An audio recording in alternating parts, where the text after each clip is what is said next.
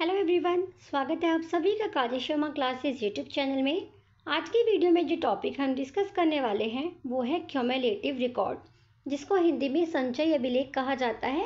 तो इस वीडियो में यहाँ पर हम डिटेल में क्यूमुलेटिव रिकॉर्ड के बारे में डिस्कस करने वाले हैं।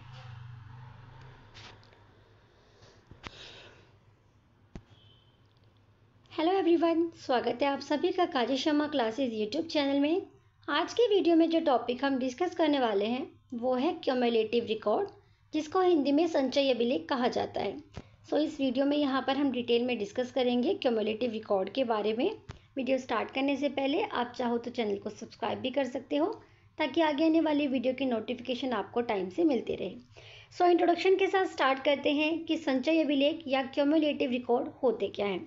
यहाँ पर एक एग्ज़ाम्पल दिया है उसकी हेल्प से हम समझेंगे कि व्हाट इज़ क्यूमुलेटिव रिकॉर्ड या संचय अभिलेख जब बच्चे पारिवारिक जीवन के बाद विद्यालय जाते हैं, मान लीजिए एक बच्चा है, जब वो विद्यालय में जाता है तो उस छात्र का एक रिकॉर्ड बनाया जाता है, जिसको अभिलेख कहते हैं रिकॉर्ड को हिंदी में अभिलेख कहते हैं, जिसमें बच्चे का नाम, यानी जो बच्चा है उसका क्या नाम है, पिता का नाम क्या है फादर का व्यवसाय, यानी जो फादर है उनका ऑक्यूपेशन क्या है आदि सभी चीज़ों का एक रिकॉर्ड बनाया जाता है ताकि निर्देशन में छात्रों को समस्या के समाधान से पूर्व छात्र को समझना आवश्यक है। देखिए रिकॉर्ड रखा क्यों जाता है? ताकि जब हम बच्चों को निर्देशन दें, कोई भी गाइडेंस दें तो उनकी समस्या को समाधान करने से पहले उनकी प्रॉब्लम का हम पहले छात्र को समझ सके और छात्र को समझने के लिए हम एक छात्र से फॉर्म फिल करवाते हैं, जिसमें उसका नाम क्या है उसके फादर क्या करते हैं? उनकी मेडिकल कंडीशन कैसी है? अटेंडेंस कितना है? पिछले स्कूल में बच्चे का कैसे परफॉर्मेंस था? ये सारी इन्फॉर्मेशन कलेक्ट होती है। उसी को कहा जाता है क्योमोलेटिव रिकॉर्ड या फिर संचय अभिलेख। इस कार्ड में ये सभी सूचनाएँ की जाती हैं। उसे संचय अभिलेख पत्र कहते हैं। यानी जिस भी फॉर्म के ऊपर या किसी भी जगह पर आप नोट करते हो तो जा, जिस जगह पर आप नोट करोगे, मान लीजिए कोई फॉर्म है या फिर कोई कार्ड है तो उसी को आप क्या बोलते हो? संचय अभिलेख पत्र कहते हो। देन यहाँ पर हमने इंट्रोडक्शन किया, उसके बाद हम यहाँ पर जानेंगे मीनिंग प्रॉपर मीनिंग क्या होता है संचय अभिलेख या फिर क्यूमुलेटिव रिकॉर्ड का। संचय अभिलेख का अर्थ होता है कई प्रविधियों द्वारा संकलित तथ्यों तथा सूचनाओं को एक स्थान पर रखना।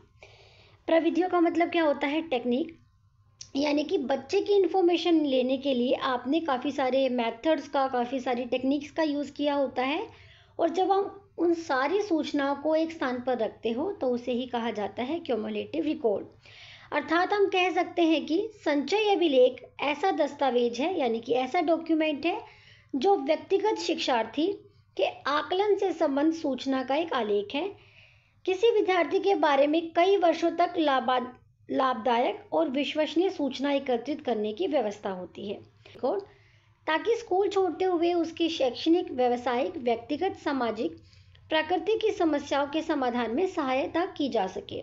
संचय अभिलेख एक ऐसा पत्र है जिसकी सहायता से छात्र की प्रगति, विद्यालय के वातावरण से उसका सामंजस्य तथा उनके अनुभवों व विकास का पूर्व ज्ञान हो सकता है। देखिए, यहाँ पर इस पैराग्राफ का या इन कुछ लाइन का मतलब है कि मान लीजिए एक बच्चा है, ठीक है? एक बच्चे का ट्रांसफ़र होता है किसी दूसरे स्कूल में। तो अब दूसरे स्कूल में तो बच्चा नया आया है तो वहाँ पर क्या देखते हैं? जैसे आपने कई बार देखा होगा कि बच्चे का करेक्टर सर्टिफिकेट मांगते हैं, जिसमें बच्चों की सारी परफॉर्मेंस होती है। उनकी स्कूल में परफॉर्मेंस कैसी थी? बच्चा कल्चरल एक्टिविटीज़ में कैसा था? उनका हेल्थ कैसा है? अटेंडेंस लेवल कैसा था? तो सारी इन्फॉर्मेशन का रिकॉर्ड होता है उसी को क्यूमुलेटिव रिकॉर्ड कहते हैं, जो करेक्टर सर्टिफिकेट से डिफरेंट होता है। यहाँ पर मैंने जस्ट आपको एग्ज़ाम्पल देने के लिए करेक्टर सर्टिफिकेट का यूज़ किया था। तो जहाँ पर बच्चे की सारी इन्फॉर्मेशन कलेक्ट की जाती है, जिस फॉर्म पर, या फिर जहाँ पर भी रिकॉर्ड किया जाता है, उस कार्ड को कहा जाता है cumulative record definition of cumulative record Murray Thomas के अनुसार संचय अभिलेख एक छात्र संबंधित लंबे समय तक एकत्रित की गई सूचना है। यानी संचय अभिलेख क्या होता है? एक छात्र से संबंधित लंबे समय तक एकत्रित की गई जानकारी संचय अभिलेख होती है। सेकंड जो डेफिनेशन है वो एलिन के थ्रू दी गई थी। किसी विद्यार्थी के मूल्यांकन से संबंधित सूचनाओं का आलेख संचित अभिलेख पत्र कहलाता है। यह एक स्थान पर रखा जाता है। नेक्स्ट है importance of cumulative record card संचित अभिलेख पत्र की इम्पोर्टेंस क्या होती है? महत्व क्या होता है? फ़र्स्ट पॉइंट आप देखोगे, शिक्षा का प्रमुख उद्देश्य छात्र का सर्वांगीण विकास करना है। अतः संचित अभिलेख पत्र इस उद्देश्य की प्राप्ति में सहायक सिद्ध होता है, क्योंकि जो क्यूमुलेटिव रिकॉर्ड होता है, उसमें छात्र की सभी इन्फॉर्मेशन होती है, चाहे वो अटेंडेंस की हो, बच्चे की परफॉर्मेंस की हो अकेडमिक्स की हो, जिससे बच्चे का ऑलराउंड डेवलपमेंट हो पाता है। नेक्स्ट पॉइंट आप देखोगे, संचित अभिलेख पत्र छात्रों की विभिन्न समस्याओं के निदान में सहायक होता है, क्योंकि वहाँ पर छात्रों की प्रॉब्लम्स भी मेंशन होती है तो प्रॉब्लम्स के सॉल्यूशन जिसमें निदान में सहायक होता है। नेक्स्ट पॉइंट आता है, इसकी सहायता से छात्रों के विकास की जानकारी का विश्लेषण करने में सहायता मिलती है। यानी छात्रों का जो विकास है, जो डेवलपमेंट है, किस लेवल तक की हो रही है, कितना बच्चे सीख पा रहे हैं तो इन सभी जानकारियों का विश्लेषण करने के लिए भी क्यूमुलेटिव रिकॉर्ड की इम्पॉर्टेंस होती है। फिर आप देखोगे नवनियुक्त शिक्षकों को इन आलेख पत्रों की सहायता से अपने विद्यार्थियों को समझने में बहुत समस्या मिलती है। यानी कि देखिए, इस पॉइंट का मतलब ये है, मान लीजिए आप न्यू न्यू टीचर गए हो स्कूल में, आपको बच्चे के बारे में ज़्यादा नहीं पता और आपको उनका सिलेबस करवाना है या फिर एग्ज़ाम है, आप बच्चों को उनके अकॉर्डिंग ही पढ़ाते हो जैसा उनका माइंडसेट होता है तो आप जो आलेख पत्र होते हैं, यानी जो क्यूमुलेटिव रिकॉर्ड्स होते हैं, उनको देखकर भी अपने विद्यार्थियों को समझ सकते हो।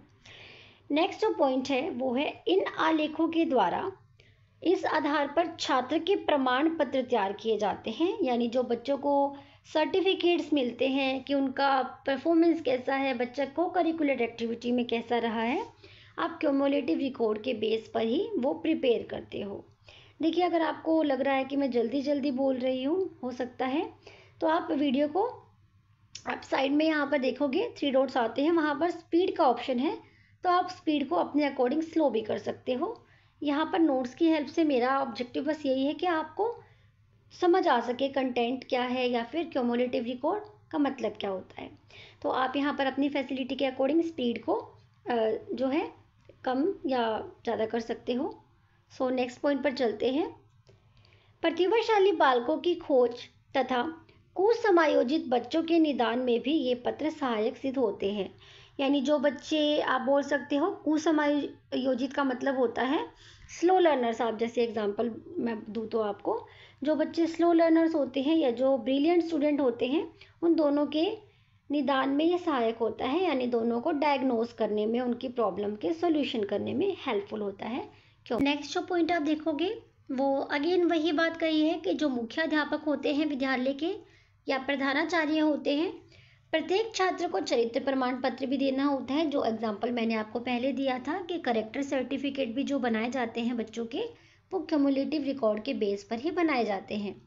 नेक्स्ट पॉइंट है, जब विद्यार्थी एक विद्यालय को छोड़कर दूसरे में जाते हैं तो संचित अभिलेख पत्र अपने साथ लेकर जाते हैं, जिससे जो नए स्कूल होते हैं, वहाँ के जो शिक्षक हैं, उस विद्यार्थी के बारे में जान पाते हैं।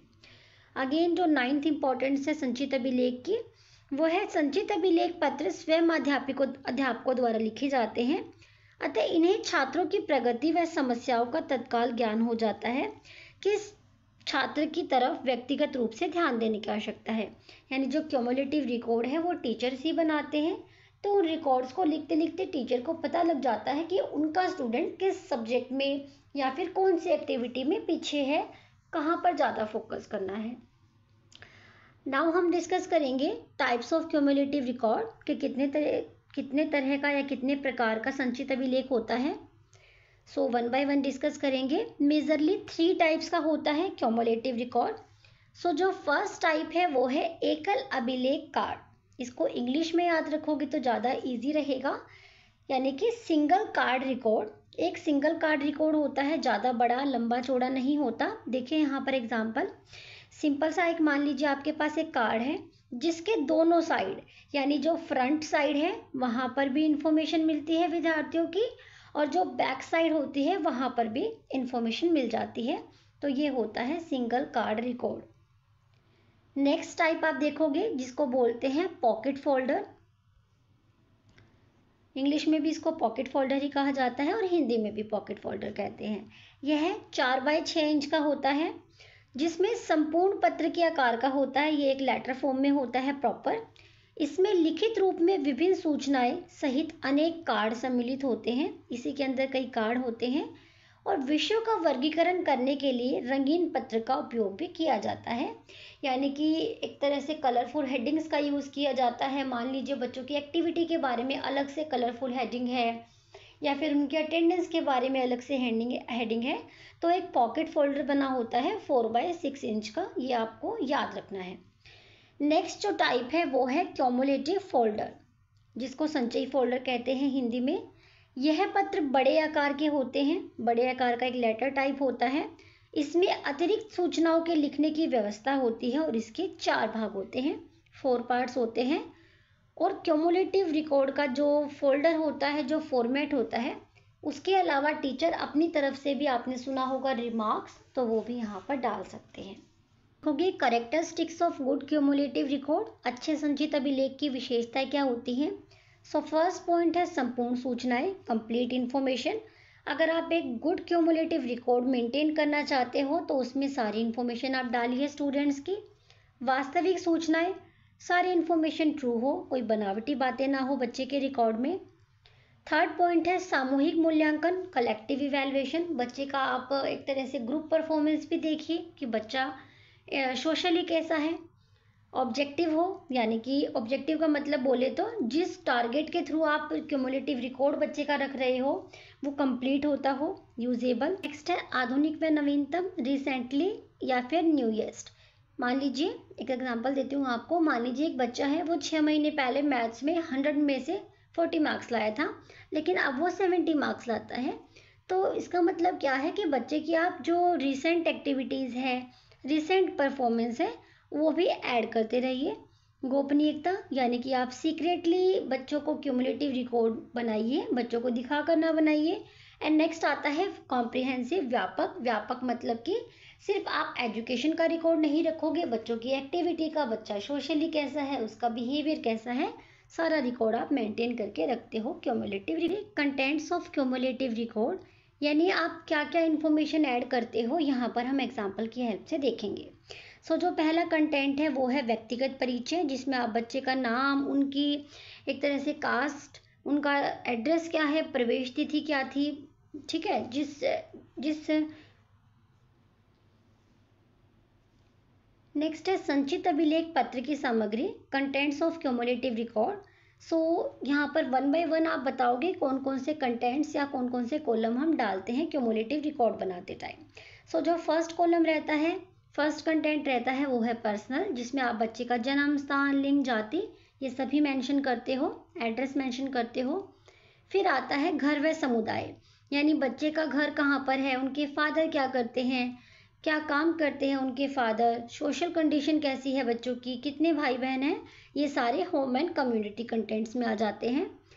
नेक्स्ट आता है उपस्थिति। बच्चे की अटेंडेंस कितनी है? फिर आता है उनका हेल्थ बच्चे की हेल्थ कैसी है? उनका वेट कितना है? हाइट कितनी है? या फिर उनको कोई डिसीज़ या कोई बीमारी तो नहीं है? तो ये मेंशन करते हो। फिफ्थ कंटेंट में क्षमताओं का ज्ञान मेज़रमेंट ऑफ़ एबिलिटीज़ बच्चे की एबिलिटीज़ आप बताते हो कितनी है? इंटरेस्ट क्या है बच्चे का? देन आता है व्यक्तिगत विशेषताएँ, बच्चे की क्या क्या स्पेशलिटीज़ हैं? लाइक like बच्चा होनेस्ट है सेल्फ रिस्पेक्ट है उसके अंदर रिप्रेजेंटेशन एक तरह से उसके अंदर क्वालिटीज़ है। तो ये सारी नेक्स्ट जो है कंटेंट वो है अकेडमिक वर्क बच्चे अकेडमिक वर्क में कैसा है? एंड देन आता है विद्यालय के प्रति दृष्टिकोण, जो स्कूल के प्रति बच्चे का एटीट्यूड है वो कैसा है? तो ये सारे थे कंटेंट्स जो हम क्योमोलेटिव रिकॉर्ड बनाते टाइम डालते हैं। देखोगे, मैंने एक क्योमोलेटिव रिकॉर्ड प्रिपेयर किया हुआ है, जो आप एज अ एग्ज़ाम्पल या फिर एज अ स्पेसिमेन आप दिखा सकते हो ड्रॉ करके भी एग्ज़ाम में भी चाहो तो। या फिर वो आपकी चॉइस है, बाकी मैं यहाँ पर आपको एक बार दिखा देती हूँ कि क्या क्या आपको इन्फॉर्मेशन ऐड करनी होती है। जैसे यहाँ पर आप फ़र्स्ट पे देखोगे आइडेंटिफाइंग डाटा में क्या बताते हो आप? जो स्टूडेंट है, उसका नाम क्या है? मेल है फीमेल है डेट ऑफ़ बर्थ क्या है? जो बर्थ प्लेस क्या है? उनकी मातृभाषा क्या है? फिर बच्चे की आप हेल्थ डाटा के लिए कॉलम बनाओगे। तो इस तरह की जो है सारी इन्फो नेक्स्ट आप थर्ड में देखोगे अटेंडेंस का रिकॉर्ड कैसे रखना है? जैसे मान लीजिए आपने यहाँ पर ईयर बताया टोटल अटेंडेंस कितनी है? कितना बच्चा प्रेजेंट था? परसेंटेज कितना है बच्चे की प्रेजेंट का? और यहाँ पर टीचर रिमार्क्स डालती है। देन आप यहाँ पर एकेडमिक रिकॉर्ड बनाओगे। कि किस सब्जेक्ट में बच्चा किस क्लास में कैसा परफॉर्मेंस किया था बच्चे ने तो इस तरह से जो है क्योमुलेटिव रिकॉर्ड प्रिपेयर किया जाता है। So thanks for watching video अच्छी लगी हो लाइक शेयर एंड कमेंट करके ज़रूर बताएँ कि वीडियो कैसी लगी।